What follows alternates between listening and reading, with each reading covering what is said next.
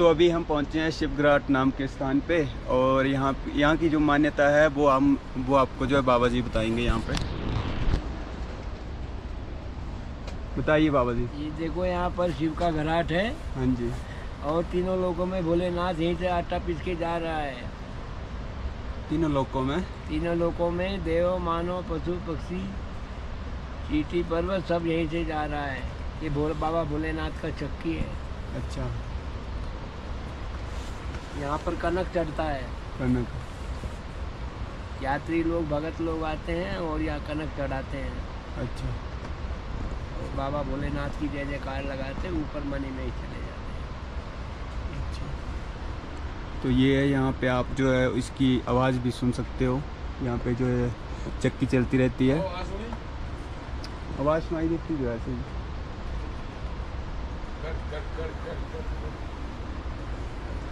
तो आप जब भी यहाँ पे आते हो तो आप यहाँ पे जो है उसकी आवाज़ सुन सकते हो और यहाँ पे गेहूँ वगैरह चढ़ाने के लिए ला सकते हो। बाबा जी मतलब गेहूँ चढ़ाने से क्या होगा? मतलब कुछ वो यहाँ से गेहूँ चढ़ाते हैं और ऊपर घराट में डालते हैं ऐसे और अनाज और थोड़ा दो चार दाने अपने घर में ले जाते हैं उससे बरकत हो जाता है। अच्छा तो आप जब भी आते हो तो वो यहाँ पे जो है गेहूँ वगैरह चढ़ाने के लिए लाएँ। साइंस आ जाए साइंस पता क्या बोल रही? है और ये। नीचे जो ये पानी चल रहा है ना